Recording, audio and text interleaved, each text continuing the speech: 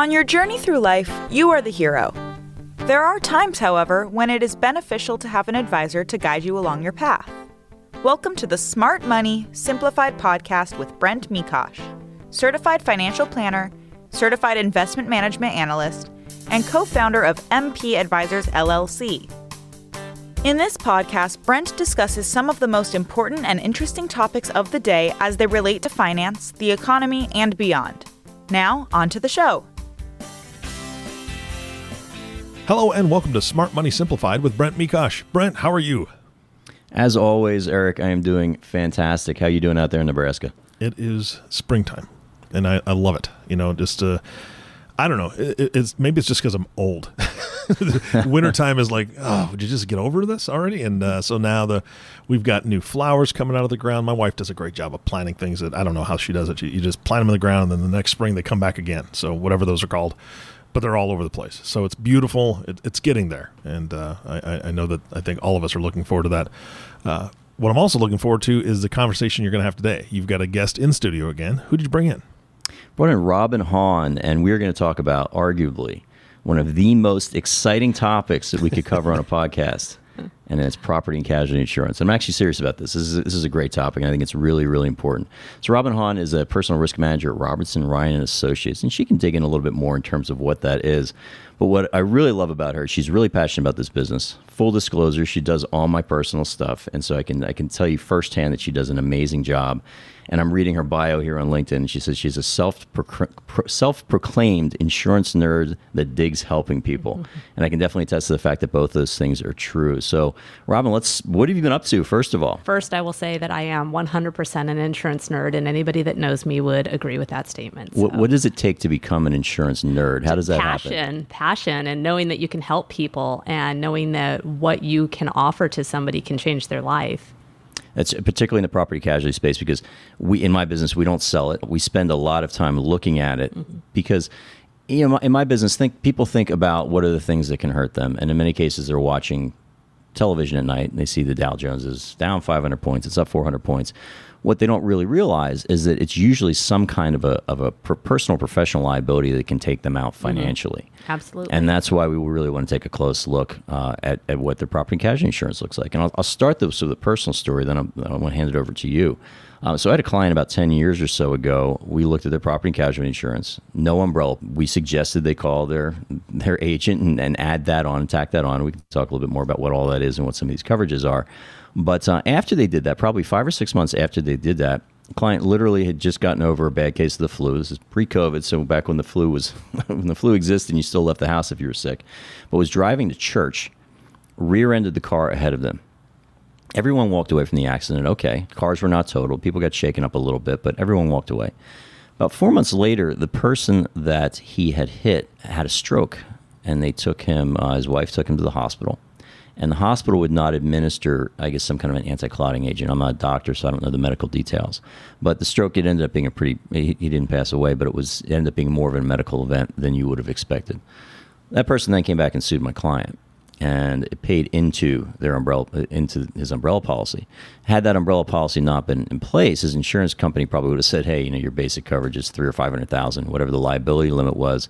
You're going to be on the hook for the rest." Mm-hmm. And that was a case that you can in theory you can see what insurance can do in terms of protecting someone's financially but when you see it actually happen live and in person to someone that you care about mm-hmm. you realize how important it is so it's something we always took we always took very seriously before. Now we take it really seriously. Mm-hmm. and we, we've got clients in 26 states as i know you do. You yes. operate around the country. Yes.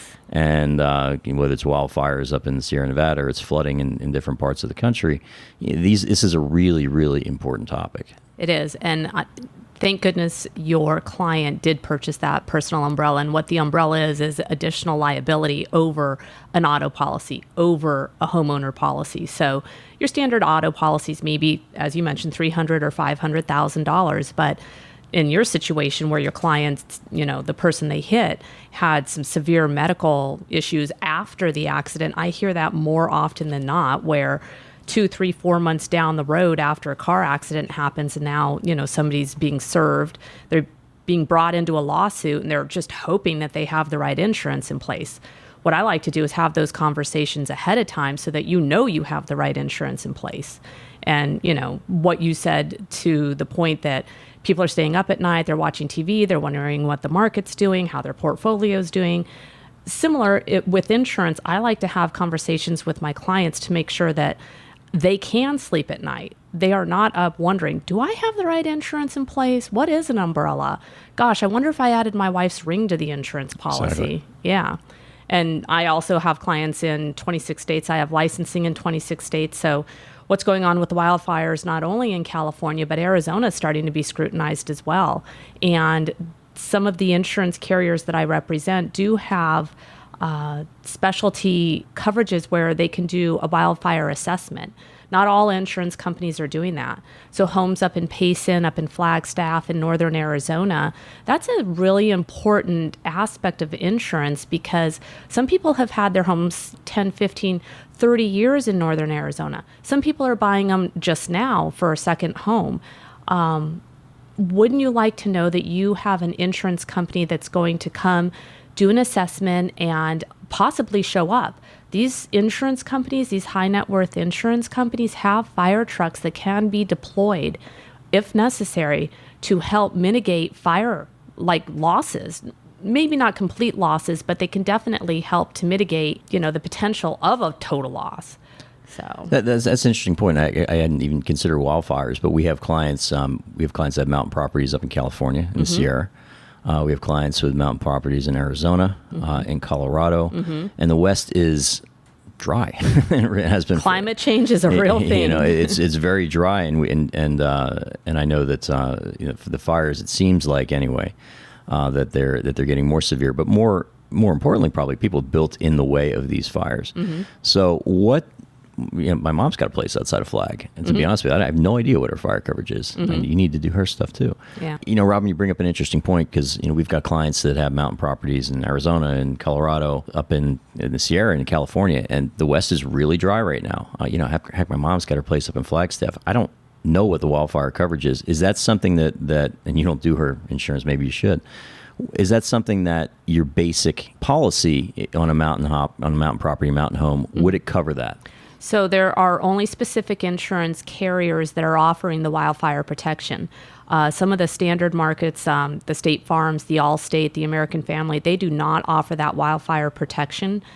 Will they insure your house in a wildfire Uh, They, zone? they will insure your home. However, if you worked hard to choose your home, you're paying to have this specific beautiful property in the mountains.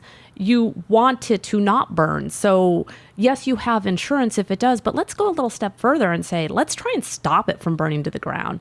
So, that's the Wildfire Protection Unit. The carriers that I represent, Chubb, AIG, Cincinnati, these insurance companies do offer the wildfire protection unit. And what will happen is the insurance carrier will go out and do an assessment of the property. And in addition to uh, working to you know mitigate the risk, meaning that tree's right up against your house and it's going to burn the house down if embers start to float your direction.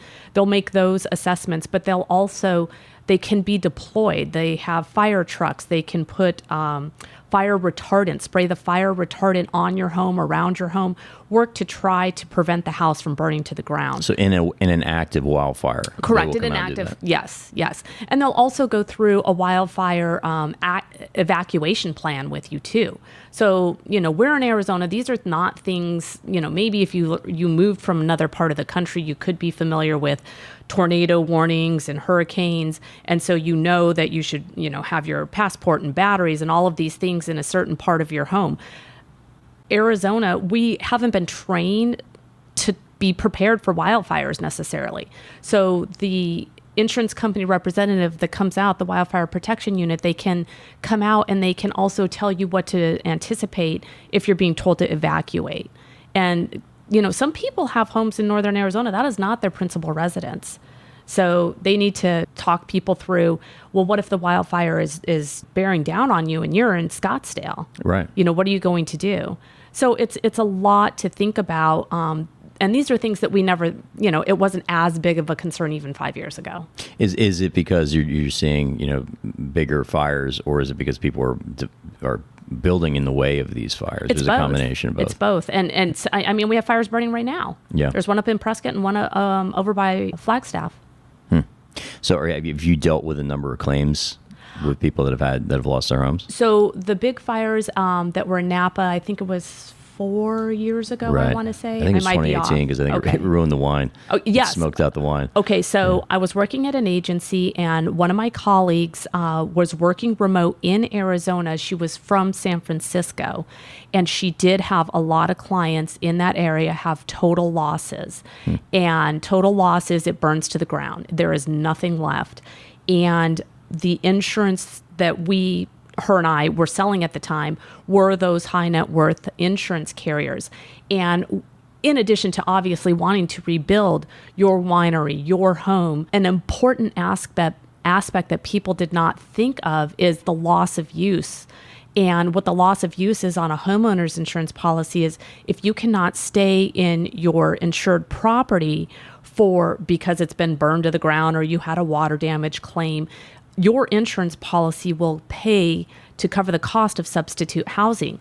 Most standard insurance policies, and I'm sorry, I'm going to pick on State Farm, Allstate, and American Family again, they usually do maybe 24 months of loss of use coverage, two years. Sometimes two years is enough insurance. For those fires in Napa, two years was not enough insurance, not enough time. So, and then you think, okay, typically if you are displaced from your home due to a covered loss, your loss of use is going to put you in a, you know, substitute housing. Maybe it's a hotel, maybe you need to rent another house in the same neighborhood that you live in. Well, with those Napa fires, there's nothing to rent. There is nothing around. You Right. you know, you're going 30, 40, 50 miles away to try and find substitute housing. Oh, and guess what? There's a mad rush because everybody Everyone else's has to house burned to the ground. Yeah. So uh, the reason I hammer down on this is because the insurance that I sell has unlimited loss of use. So it would be real easy for the insurance company to cut a check for your $10 million for your home that burnt down, but then you still have loss of use cost. Sometimes that loss of use was exceeding the cost of writing the insurance policy, the, Sure. the, the dwelling coverage. Sure, sure. Now, what about for people that some people, particularly now, they've got second homes. Mm-hmm. They're Airbnbing them, Mm. or they're or they're using these second homes. That maybe they're not even staying there; they're doing it as a business. Mm-hmm. Is does that demand different coverage? 100% and i'm so glad you went there because so many people i think more people are learning but a lot of people haven't learned yet that you absolutely have to buy the right insurance because if you're still again i'm picking on state farm here if you're still using your regular state farm homeowners insurance policy for your airbnb investment property and there's a claim state farm's going to say sorry charlie no insurance 100% exclusion Seriously, 100% would would would they know? Because one of the things be, before I met you, uh, and and I think every biz, every industry has this. There's there's yeah, there might be 10, 15 percent of people that know what they're talking about. I think obviously, I think property and casualty insurance is really important. What has always struck me, and in the past, I've done business with a couple different companies. No one's asking questions. Mm-hmm. No one's okay. You got this house. Here's the address. Here's the insurance you need. Period. And there's mm-hmm. there's no what's in the house. Do you have any you know jewelry items? Yeah, mm-hmm. like all these other. What are you using it for? No one no one else that I've come across asks that question. It would for people that that might have State Farm and they have been Airbnb it. Mm-hmm. Does State Farm have any issue, any liability on their part because they didn't ask that question?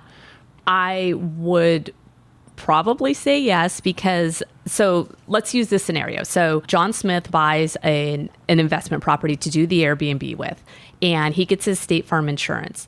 Does the agent, the State Farm agent, ask him? Maybe, maybe not. Or maybe he buys this house and he is living in it, and then he buys something else, and he's like, I'm just going to Airbnb my first house. People do it all the time. That happens all the time. So is your State Farm agent asking you on an annual basis, hey, I see that you bought this house, you have this house now. What's going on with the first house? Hmm. So annual reviews are super important.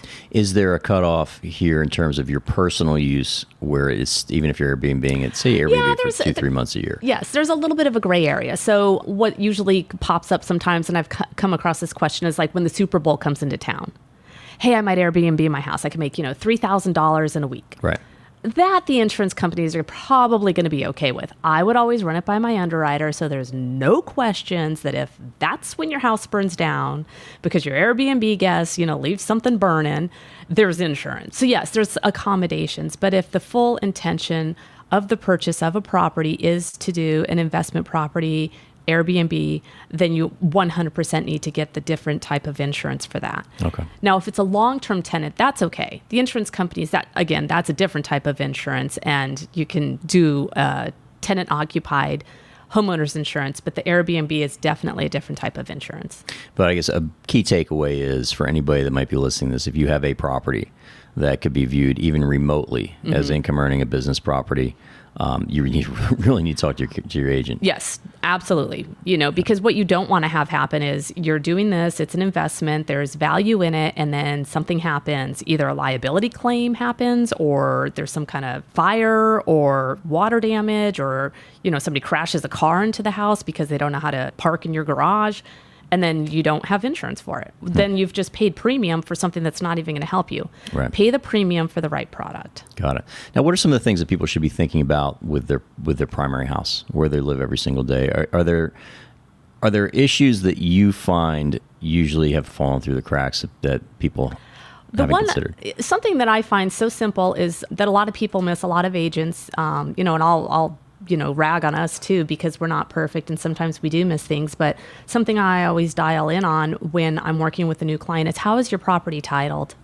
Okay. Talk you know? a little bit more about that. So if it's in a trust or an llc make sure that that trust or llc is listed on your policy properly. Okay. So if there is some kind of lawsuit, you know, somebody trips and falls, or, you know, God forbid somebody drowns in the pool or gets injured in a pool, and they're bringing a suit against you, the homeowner, make sure your trust is listed properly. Make sure the LLC is listed properly because you don't want to go into court and then everybody's fighting over is there insurance, is there not insurance? And there's no additional cost to list your trust or LLC. It's just the importance of doing it right. Sure. And, and a question I've always had too is where does the homeowner's liability end and where would maybe a guest's liability begin? Like, let's say we're coming into barbecue season here in Arizona. It's okay. beautiful outside. Mm-hmm a bunch of people at your house. Mm-hmm. Maybe you're serving some adult beverages. Mm-hmm. Someone leaves and mm-hmm. gets in an accident. Mm-hmm. How, what liability do you have as a homeowner? That's your liability, your homeowner's liability. Yeah. So yeah. that's so that's basically so basically what you're doing is is you're not only talking about the liability of things that happen at your house, mm-hmm. but in the case, particularly if you're entertaining, you're also right. dealing with the liability of, of yeah. Your liability follows you not only at your residence, your home, your four walls and a roof, but it follows you all over. So here's the scenario I used to use. If you're going to the grocery store and you bump a little old lady and she falls down and breaks her hip, right? Liability.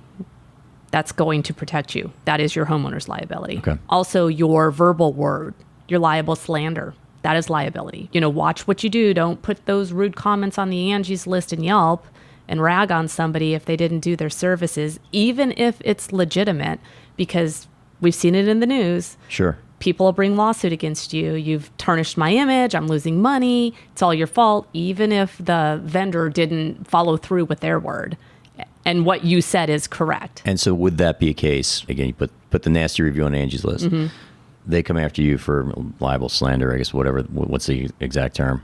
Um, liable is your, I think that's the verbal one. Okay. Yeah. And slanders if you say something, whatever. But uh, so if they come after you, is that your homeowner, your homeowner's policies was paying? Your liability on your homeowners. Li- mm-hmm. Liability on your homeowners. Okay. Yep. Yeah. So so many people don't realize, you know, um, especially say first time home buyers. They buy a home, they're super excited, and then they say, Oh, we need to buy homeowners insurance. And then they might go through a title company, a realtor, what have you, their lender, and they buy a homeowner's policy. They have no idea what all of it means. So, what I like to do is, and I kind of have a passion for the first time home buyers. They're usually a little bit younger. This is all new. They're working so hard to do everything right. So they really appreciate me taking time to go through all of the coverages line by line and what that means. And, you know, there's what the limitations are. To your point, there's limitations on jewelry, there's uh, limitations on fine arts. Maybe there's collectible, sports memorabilia. Comic books are hot right now they are just skyrocketing in value. So maybe you need to buy a little extra insurance on those. You you bring up another good point here. So when you've got you got your homeowner's policy, and then you've got your articles and items and things mm, that you're mm-hmm. insuring, mm-hmm. uh, and pick whatever the whatever the limit is. But there are a number of items that are excluded or they're capped.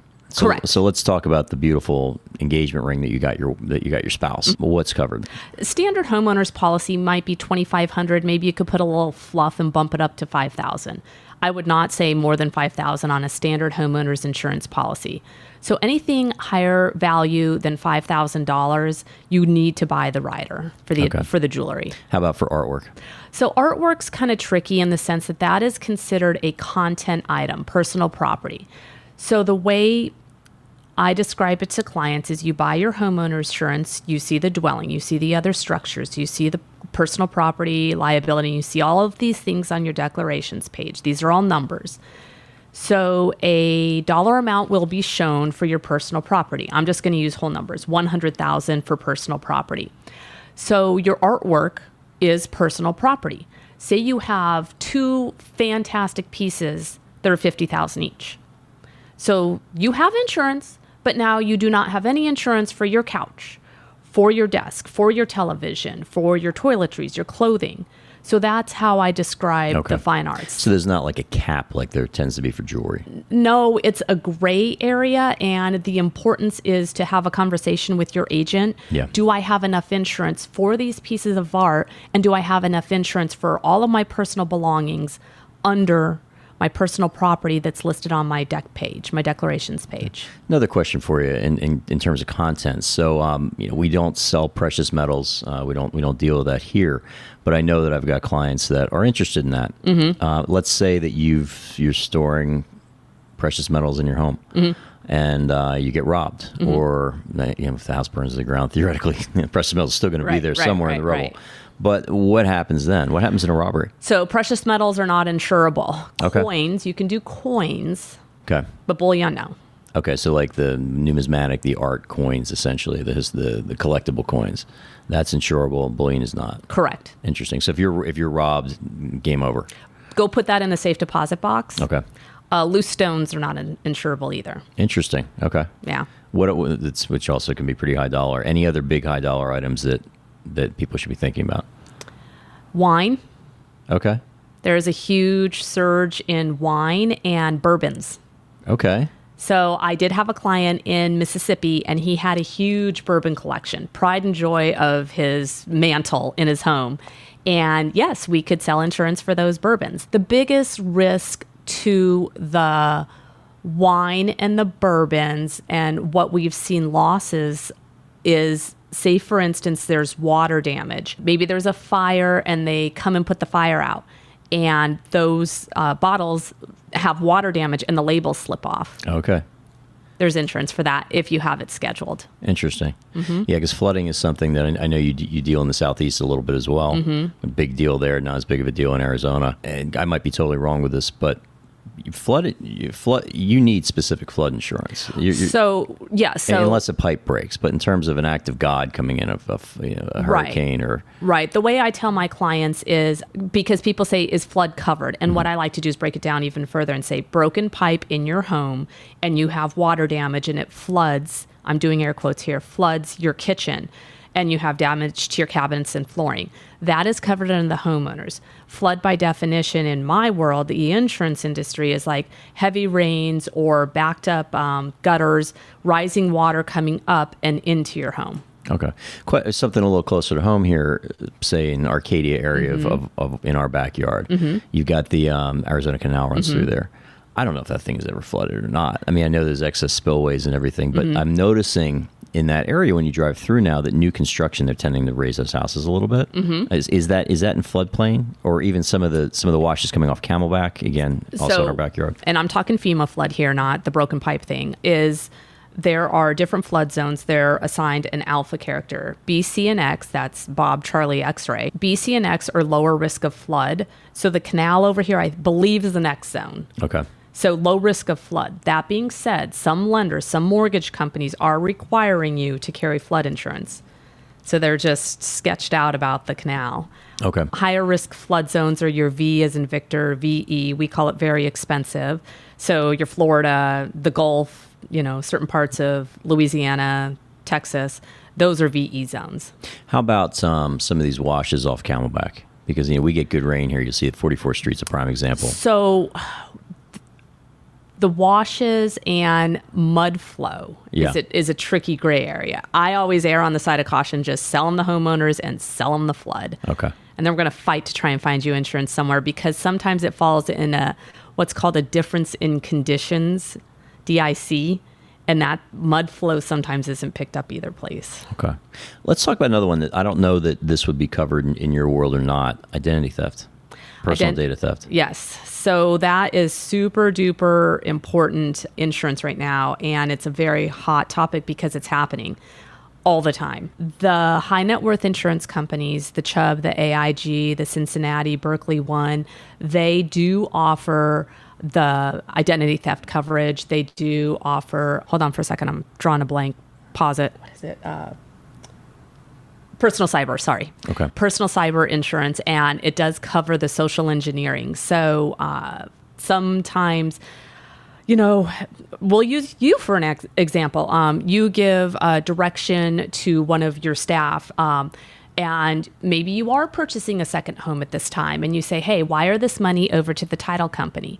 Well somebody's monitoring your emails and they take that information and they flip you know maybe one letter in an email and now it looks legitimate but actually it's your staff wires money but then it goes to the criminal Yeah, well, that's that's one thing that actually we are, and we're gonna pull that out. We'll, we'll take that piece out because we, um, if we're wiring money out, just uh, you know, FYI, if I don't have the actual personal conversation to verify that information, I'm not covered as a business. So, Mm-hmm. like, let's say somebody wanted you know, a couple hundred grand out of here. Raymond James says, "Sorry, see you later." Yeah. uh, and I also don't want clients to freak out thinking we're gonna lose it. yeah that, that- you can back that up but um, maybe in a personal like Yeah. um, the husband tells the wife "Why are the money here you know however you want to yeah, okay, but So- yeah so, so that's that's what the cyber insurance helps cover right, Um, there's also with the cyber insurance, it's so hot. Um, the um, cyberbullying. okay, that's Yeah. that's actually covered in cyber insurance. Yeah, there is. So if you have young kids, Yeah, yeah. Um, sometimes. how do you even cover that? So uh, I'll be honest. I have not had a cyber insurance claim yet. I have the marketing. I understand what is covered, but the way I understand it, and I would want to make sure this is correct, is if, um, say, for instance, you have teenage kids and they're, you know, they're on the Instagram, the Snapchat, the this, the that, and they're getting cyberbullied, and the kids now the the receiver of the cyberbullying can't go to school, is distraught, not eating, all of that. There's there's some insurance for that, for you know counseling and Oh my gosh! Wow, and that's it's amazing things that because we're pretty much the same age, Mm-hmm. things that we didn't have to consider growing up. no, yeah, it's it's there's a lot of things that personal insurance covers that people don't realize. Now, how about how would that differ from say LifeLock?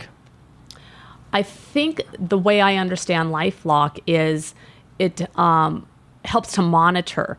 But if you suffer financial loss, I don't know if if, if there's any you're out of insurance. Yeah, Got yeah. it. Got it. And Whereas the cyber insurance does help cover those financial losses. Is there any other big sort of leading end or leading edge things happening in the insurance, particularly around tech or particularly around uh, what's happening? The NFTs are a big thing. Tell me about that. Let's let's dig into that a little bit. So I'm not proficient. I'm not an expert in that. I'm It's not non fungible token tokens. Yes. for yeah. for yeah. So um, art is huge. Um, art's getting into the NFT world. Performers, celebrities. Um, and basically what you are buying there's a lot of talk about this i think jack dorsey the, the former you know the guy that founded twitter his first tweet they did an nft of his first tweet which is basically a unique digital um, essentially a copy of that but it's Mm-hmm. but it's it's unique unique and it's, it's held on the blockchain so it's verified that Yes. you own this specific you know, image or piece of art um, and I think the guy, the guy's asking like thirty million dollars. Now he's trying to sell it. He bought it for like three million dollars, I think, a few years back. But the NFT thing, it, to me, is pretty fascinating. it is, and It doesn't stop people from taking the image and printing it out. right but right it's, it's very abstract and the insurance world is insurance is slow to catch up sometimes. So Yeah. we are getting caught up, and I'm talking as a whole. There is not a lot of insurance to be sold for the NFTs at this time because they're But theoretically, the reason you own that is there's zero loss of Correct. possibility of loss of Exactly. property because you can't unless Exactly. you, unless you you know you, you you kill the entire blockchain. exactly, So what is there to insure? exactly. Okay. So there's I received from my um, one of my corporate people uh, at the agency I work with sent an email and I I read it and I didn't look into it yet. Um, but there is one type of insurance that's being sold for the NFTs, but the NFT that you could buy the insurance for is very specific. So I don't have all the information around that yet.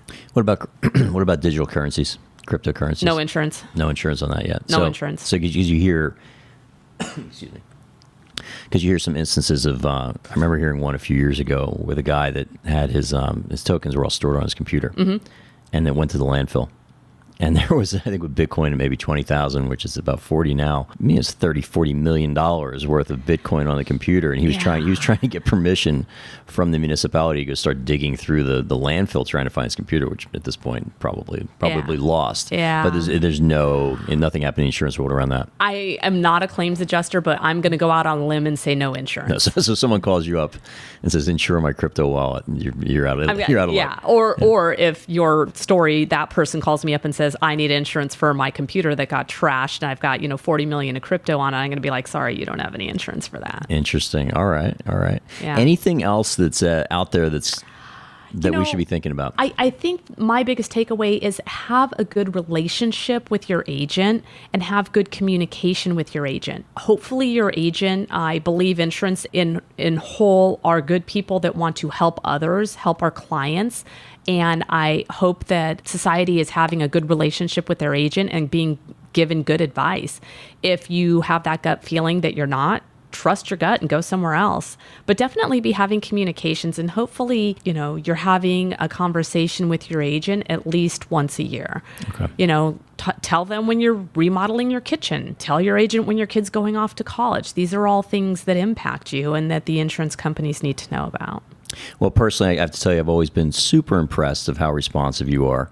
Because it normally, uh, it's normally like nine or ten p.m. before I go to bed that I start thinking about coverage limits for, for some of my stuff. Sleep insurance. Exactly, and that's that's when I'm pinging out the email, and I'm expecting I'm expecting to get a response like some point, you know, in the next day or so, and it usually comes back that night. So, you are an insurance nerd, and you definitely definitely help people. If somebody wants to reach you or contact you, how do they do it? So, uh, my name is Robyn Haun. I've been in the insurance industry for 30 years, and I do focus in the high net worth personal insurance space. I can be reached at 602 363 4127. And like Brent said, I answer the phone. So, give me a call. I have email too, but I'm not going to rattle that off. Yeah, any of our clients that are listening that want to talk to Robyn, I've obviously got all of her contact information as well. Uh, reach out to me or remember my team, and, and we can send that over to you. Um, any parting thoughts about this? This has been a great conversation, by Yeah, the way. Yeah, no, this is, I was terrified. I was nervous. I wanted to do well. So, thank you, You for, great. yeah, thank you for making it um, so relaxed. And no, I really enjoyed it. It was fun. Excellent. Well, thanks so much for carving some time out of your morning. I know that you're busy. I know you got a call and a claim as you walked in. Yes. So I'll let you get back and, and, and deal with that. But again, thank you so much for, for not you. only for today, but everything you've done for Thank me you. and my family. Thank you so much. And Robyn and Brent, this has been fantastic. Brent, I, I want to thank you for asking a s- very specific question. Um, my house is a half mile from where the College World Series takes place every year, and I'm thinking about the Airbnb thing just for those two weeks. So Yep. uh, I appreciate that answer. I'm going to be looking into that. So, Robyn, again, thank you so much for being on the show. Brent, thank you for facilitating this and bringing her on the show. And our last thank you goes to you, listening audience. Thank you so much for tuning in and listening to the Smart Money Simplified podcast with Brent Mekosh. If you have not subscribed to the podcast yet, please click the subscribe now button below. This way, when Brent comes out with a new podcast, it'll show up directly on your listening device. This makes it really easy to share these podcasts with your friends and family. Again, thank you so much for listening today. For everyone at MP Advisors, this is Eric Johnson reminding you to live your best day every day. And we'll see you next time.